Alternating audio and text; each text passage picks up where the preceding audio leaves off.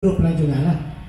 Ha, Jadi bagi kami ni Kami cadangkan supaya uh, Ada pegawai-pegawai masuk ke setiap kampung. Kampung-kampung Bila kampung ni mesyuarat JKK ke Mesyuarat peladang ke apa kan. Kita kempen supaya cantikkan kampung-kampung kita.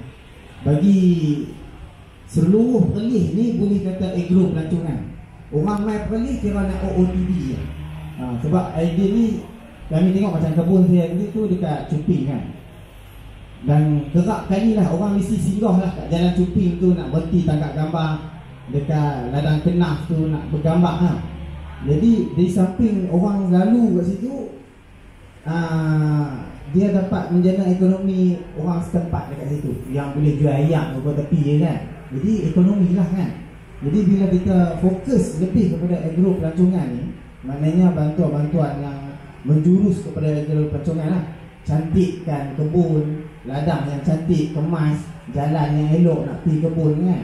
Galakkan agro pelancongan contoh bendang bendang yang uh, kemas lah.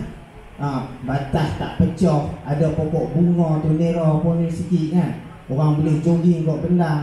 Uh, jadi tu tarikan pelancongan uh, benda ni dah saya nampak dah sikit-sikit dia berlaku dekat kampung saya Padang Pau tu Orang kerap tiap pagi tiap minggu mesti nak berjogging. Ada di situ juga dah semakin naik lah ada orang yang idea dia buat chalet ke kan. Jadi kita cadang tu supaya berkempen untuk bagi cantik kawasan kita. Ha, kebun yang cantik insya-Allah hasil yang tinggi. Sebab bila kebun kita kemas tak berselerak, tak ada semak samun, jadi kutu trik pun kurang Lebih kurang macam tu lah. Ha, Ada pokok bunga Ada boleh ejen pendungan dan sebagainya lah. Ha, Satu contohnya macam Ni lah Anggur ni kan. Ha, Kalau kita nak hasilkan anggur Yang boleh supply kepada seluruh negara Mungkin kita tak mampu. Tapi kita buat macam ni Orang boleh main ambil gambar Mega ayam apa kan. Jadi ekonomi juga.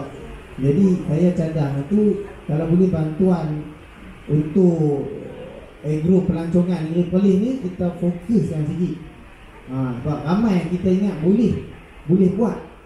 Kita rumah-rumah lama kita kan kita boleh percantikkan balik untuk orang main kan.